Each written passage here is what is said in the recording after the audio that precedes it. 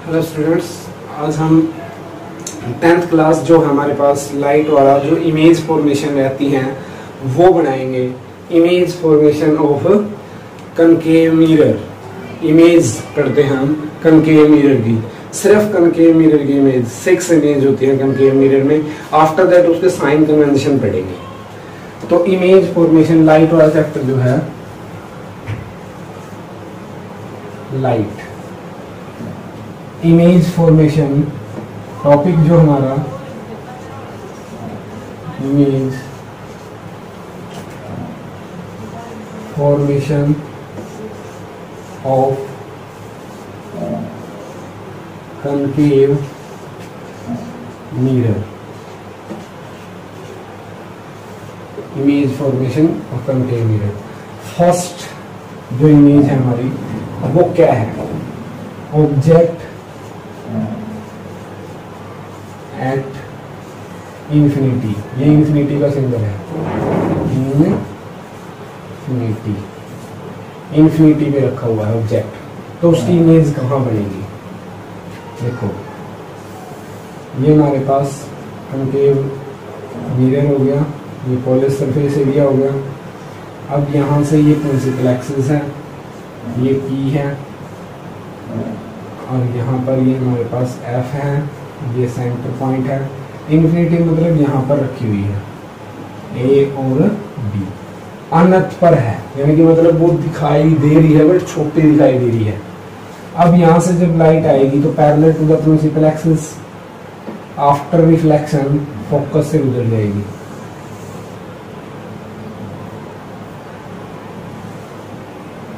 इसके बाद जो नेक्स्ट लाइट आएगी, वो भी parallel to the principal axis ये भी आफ्टर रिफ्लेक्शन फोकस से गुजर जाएगी तो इमेज कहाँ है? Image position at F F पर है. पॉइंटेड इन साइज़ है. रियल है एंड इन्वर्टेड है.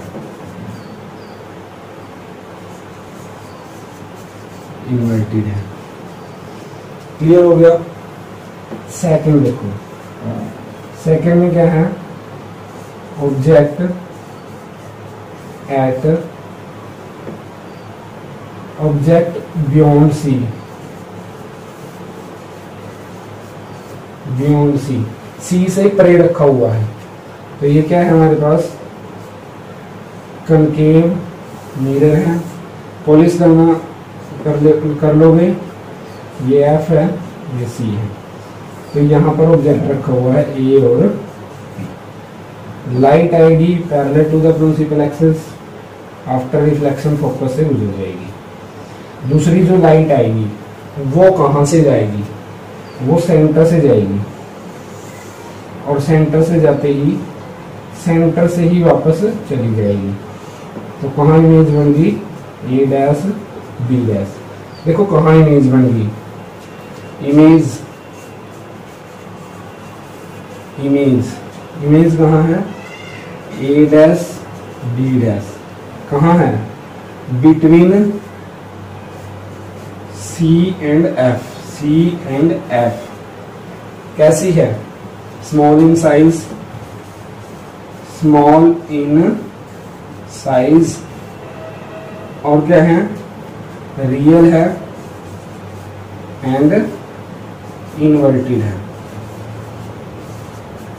इनवर्टेड है। समझ में आ गई दो इमेज होगी अब आ गई थर्ड पॉइंट थर्ड थर्ड देखो। थर्ड में क्या है?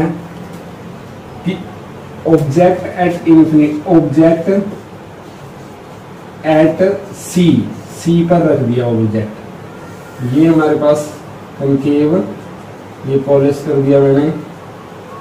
अब ये हमारे पास प्रिंसिपल एक्सिस है, ये पी है पोल है, ये एफ़ है, ये सी है। यहाँ पर ऑब्जेक्ट रख दिया सी के ऊपर ही ए और B light I parallel to the principal axis after reflection focus से गुजरेगी। दूसरी जो लाइट आएगी वो कहाँ से गुजरेगी? फोकस से गुजरेगी। फोकस से आएगी। और parallel to the principal axis चली जाएगी। ये यहीं पर मिलेगी ए डैश और बी डैश तो इमेज कहाँ बन गई? इमेज एट सी रियल है इन्वर्टेड है। सेम इन साइज़ है। सेम इन साइज़ तो होगी तीन। फोर्थ इमेज देखो। अब ऑब्जेक्ट को धीरे धीरे हम क्या कर रहे हैं? नज़दीक लेके आ रहे हैं। धीरे धीरे उस ऑब्जेक्ट को हम नज़दीक लेके आ रहे हैं। अब यहाँ पर object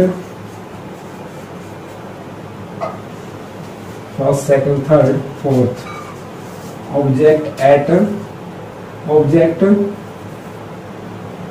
between C and F C और एफ़ के बीच में रख दो ऑब्जेक्ट को। ये हमारे पास क्या हो गया? कंकेव मिरर हो गया, ये पोल हो गया, ये एफ़ हो गया, ये सी हो गया। इसको पोलिस कर लो। इसको भी मतलब मैं कर ही देता हूँ। अब ये यहाँ पर रख दिया ऑब्जेक्ट लाइट आई ए और B light I parallel to the principal axis after reflection focus से गुजरेगी अब जो दूसरी लाइट आएगी, वो कहाँ से आएगी? वो देखो कहाँ से आएगी। अगर फोकस से गुजारेंगे तो ऐसा कुछ नहीं होगा। तो इसको क्या कर दें कि सेंटर से गुजार दो। तो सेंटर से गुजार दो। ये देखो। ये सेंटर से गुजरेगी। इसको थोड़ा सा मैं रफ कर देता हूँ। ये देखो, पीछे की तरफ़ ए डैश बी डैश तो इमेज कहाँ बन गई? देखो यहाँ पर कहाँ रखा हुआ था? बियॉन्ड सी और सी और एफ़ के बीच में रखा हुआ था।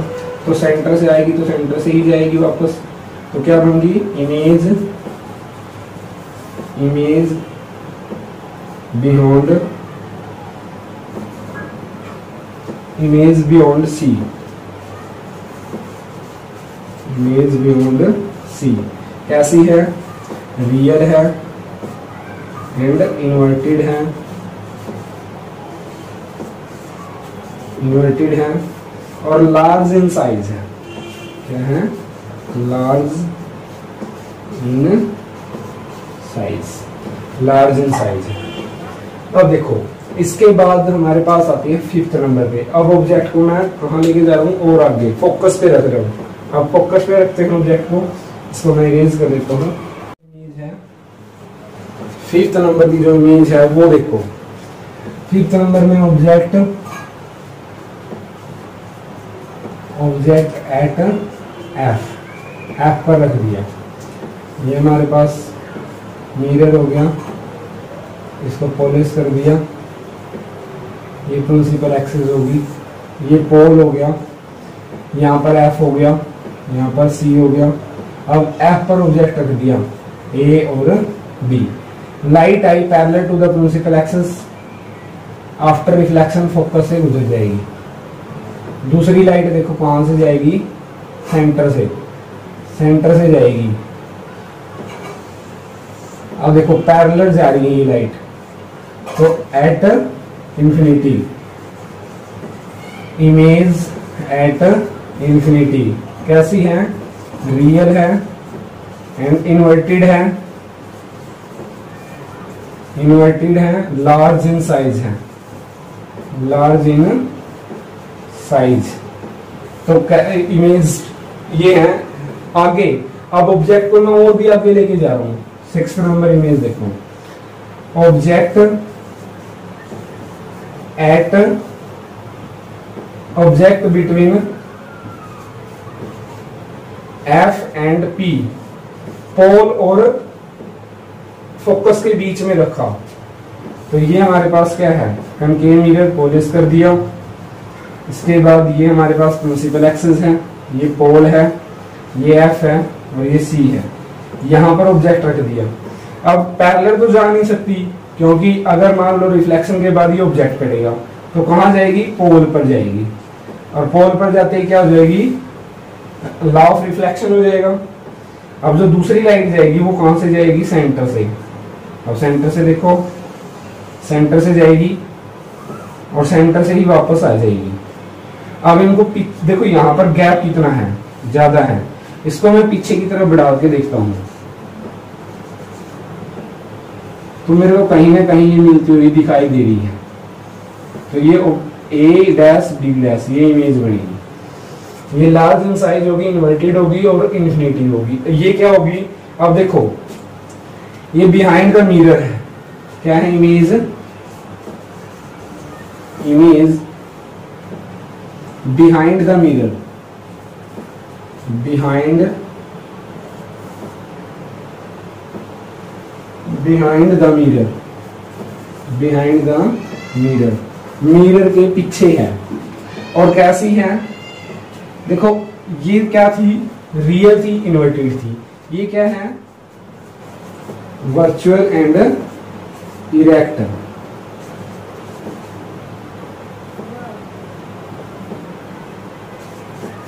इरेक्ट है वर्चुअल और इरेक्ट है। और कैसी है? Large in large in size है। लार्ज इन साइज़ है। एक ही इमेज वर्चुअल होती है। अब हमारे पास कनकेव मिरर की छह इमेज होगी। अब हम पढ़ते हैं कन्वेक्स मिरर का rule rule convex mirror rule of convex mirror rule of convex mirror ये पढ़ते हैं। अब है हमारे पास rule of convex mirror rule of convex mirror rule of convex mirror में क्या होता है? जब लाइट पैरेलल जाती है तो क्या होगा आफ्टर रिफ्लेक्शन और जब दो ही इमेज बनाए गए, ये, क्योंकि ये डाइवर्सिंग मिरर है। देखो फ़र्स्ट रूल क्या कहता है rule of convex mirror rule of the max meter first rule liquids का क्या है one a ray of light ray of light parallel to the principal axis parallel to the principal axis principal axis से parallel आएगी। तो ये हमारे पास x continue मीटर कनकेव मिरर कन्वेक्स मिरर ये पोलर सरफेस एरिया ये देखो, ये पोल हो गया यहाँ पर। यहाँ पर ये एफ़ यहाँ पर सी क्योंकि सेंटर उस साइड है इसका, क्योंकि ये स्पेयर उस साइड में है। तो ये पैरेलल गई लाइट जो हमारे पास parallel to the axis after reflection डेवर the same medium तो ये यहाँ से ऐसे हो गए यानी कि आफ्टर आफ्टर आंसर क्या है? After reflection reflection goes to same medium goes to same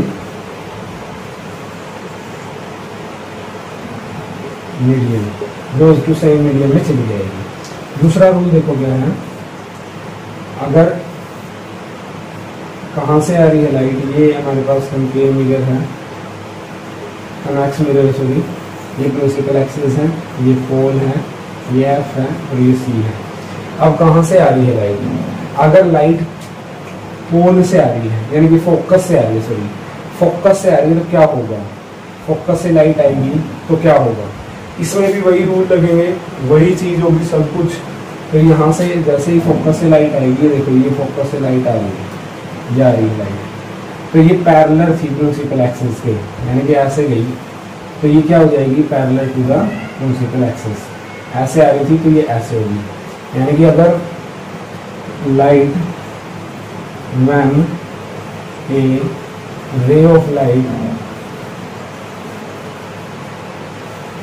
come to the focus so after reflection reflection goes to parallel to the principal axis. Principal axis तो प्रिंसिपल एक्सेस के parallel हो जाएगी। चाहे नीचे बना लो, चाहे ऊपर बना लो, वो तुम्हारी मर्ज़ी है। अब क्या है? जैसे ही हमने देखा थर्ड रूल सेंटर से आएगी तो सेंटर से ही जाएगी।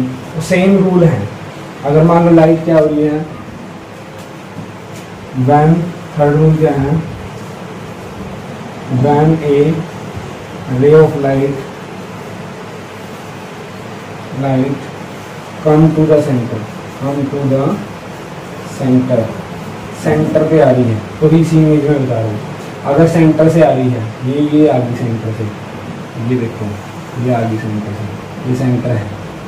तो यहाँ पर आएगी तो यहीं से वापस चली जाएगी। तो ये हो गया, यहीं से वापस चली जाएगी। अब गोज टू बैक या गोज टू सेम मीडियम क्यों? मीडियम क्यों हुआ ऐसा? Because centre is a normal centre is the normal normal है सेंटर उसका, इसीलिए। अब अगर मान लो पोल से जा रही है तो देखो पोल से जा रही है तो after reflection law of reflection हो जाएगा। Ray of light ray of light come to pole come to pole अगर पोल पे आ रही है तो क्या होगा? Reflection of light reflection of light तो ये लाइट होगी रिफ्लेक्शन ऑफ़ लाइट हो गया। अब इसके बाद देखियो, इसके बाद जो इमेज बनाती है इमेज जो बनती है इसमें image formation image formation of convex convex mirror image देखो भाई कन्वेक्स मिरर की इमेज इमेज कैसी होंगी देखो फ़र्स्ट ऑब्जेक्ट रख दिया एट इन्फिनिटिव ऑब्जेक्ट कहाँ रखा? At infinity infinitive object at infinity तो ये हमारे पास मिरर ये पॉलिश कर दिया हमने। ये क्या है? प्रिंसिपल एक्सेस ये क्या है? पोल ये हमारे पास एफ़ है, ये सी है। तो parallel to the principal axis I light तो यहाँ से ये गई अब पीछे की तरफ़ बढ़ाओ तो ये कहाँ से गुजरेगी? पोल से। अब ये भी parallel to the principal axis आई तो ये भी डाइवर्ज होगी। अब यहाँ इसको भी पीछे की तरफ़ बढ़ाओ तो ये भी कहाँ से गुजरेगी? पोल से। तो ये इमेज बनाता है ऐसे ये ए और ये बी तो कहाँ है इमेज एट एफ़ और behind the mirror behind the mirror mirror behind the mirror at F और कैसी है? वर्चुअल एंड इरेक्ट आभासी और काल्पनिक है। इसके बाद देखियो सेकंड वहाँ रख दिया। Object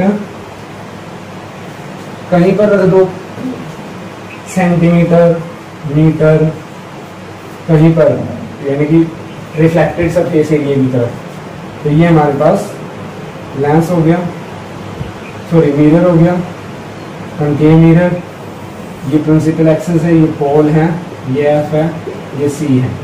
Parallel to the principal axis अब light parallel to the principal axis object यहाँ पर रखा हुआ मान लो ए और बी तो ये आफ्टर रिफ्लेक्शन क्या हो जाएगी? सेम मीडियम में और पीछे की तरफ़ बढ़ाएँगे। तो दूसरी जो लाइट जाएगी वो कहाँ जाएगी? सेंटर पॉइंट पे जाएगी। तो सेंटर पॉइंट पे जाएगी तो ये देखो। तो यहाँ पर ये कट गई। ए डैश और बी डैश क्योंकि सेंटर पे जाएगी तो सेंटर से ही वापस आएगी। तो इमेज कैसी बनी? इमेज कहाँ है? Image between P and F. और real sorry virtual virtual and erect erect है। हमेशा ही वर्चुअल और इरेक्ट इमेज बनाएगा ये क्यों? इसकी फोकल लेंथ जो होती है, वो इस साइड है तो पॉजिटिव होती है। Focal length focal length always always positive of concave, convex convex mirror convex mirror की फोकल लेंथ हमेशा पॉजिटिव होती है। और कनकेव मिरर की concave mirror mirror focal length focal length और नेगेटिव नेगेटिव होगी। और प्लेन मिरर की प्लेन मिरर की focal length mirror focal length focal length क्या होती है? इन्फिनिटी फोकल लेंथ इन्फिनिटी होती है। प्लेन मिरर की फोकल लेंथ इन्फिनिटी होती है। प्लेन मिरर की फोकल लेंथ इन्फिनिटी होती है। और कनकेव मिरर की फोकल लेंथ नेगेटिव होती है। अब देखो इमेजेस का टॉपिक हमारा खत्म हो गया। लेंस का। यूजेस देखो इसके। Concave mirror and convex mirror convex mirror जो हमारे पास है उसका यूज़ स्ट्रीट लैंप में किया जाता है रिफ्लेक्टर है ये रिफ्लेक्टर में किया जाता है कन्वेक्स मिरर का। कनकेव मिरर का जो हमारे पास डॉक्टर है वहाँ पर इस्तेमाल करते हैं। अदर भी बहुत सारी हैं यूजेस तो मैं एक तरफ़ लिखता हूँ कनकेव और एक तरफ़ convex use of spherical mirror लिख देता हूँ। Use of spherical mirror use of spherical mirror first use देखो क्या है। First use convex mirror convex mirror use as use as a street lamp and reflector reflector और दूसरा point लिखो it is also it is also use car scooter car scooter rear view view mirror microscope और fourth number पे दोनों पे mix कर रहा हूँ मैं। Concave mirror is used street light view scooter car convex mirror. Concave mirror sorry concave mirror is used used for a headlight headlight. Concave mirror concave mirror are used in solar cooker solar cooker cooker dentist भी इसका use करते हैं six grade dentist dentist also use in mirror concave and barber barber are used concave mirror shops so also called also called saving mirror saving mirror तो इसको saving mirror भी कहा जाता है। तो ये था हमारे पास यूजेस इसके बाद है जो हमारे पास है sign convention shine sign convention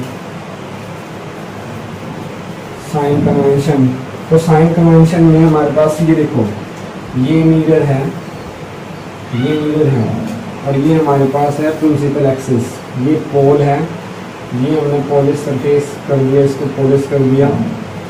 तो जो left left left left side है, ये हमारे पास क्या है? लेफ़्ट साइड अगर मैं ऐसे खड़ा हूँ तो ये लेफ़्ट है, ठीक है? ये लेफ़्ट साइड है।